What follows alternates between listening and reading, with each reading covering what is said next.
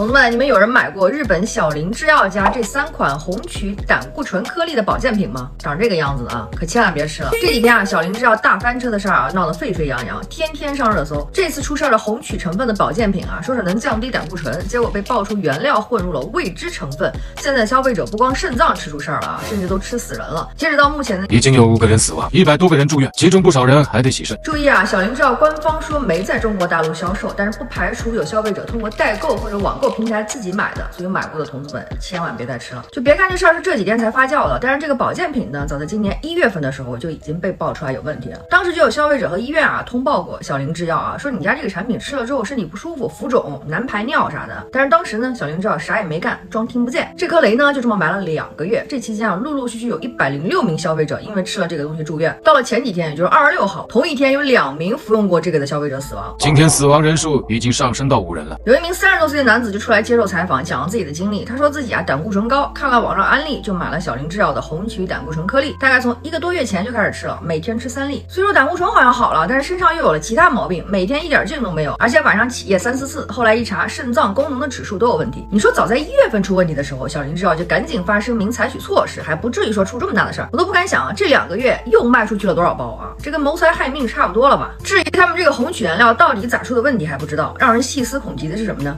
小林明知道位于大阪的工厂居然去年十二月就关了，无法查问题。注意是去年十二月就关了啊！一月份被报的有问题，提前厂就关了，是巧合还是啥啊？你们自己品吧。关键他们的态度啊，真的特别厉害啊，有一种不关我事儿的感觉。人家就说了，小林制药正在对该产品与其死亡之间的关联进行详细调查。说人话就是有人死亡，但不一定是吃我这个吃死的人。更吓人的是啥呢？就这次出问题的红曲原料啊，就他们自己生产的这个红曲原料，不光小林制药自己用，他还卖给了别的公司。小林制药呢，每年能生产十八点五吨的红曲原料，其中两成就他自己用，剩下的八成供通过给了五十二家企业。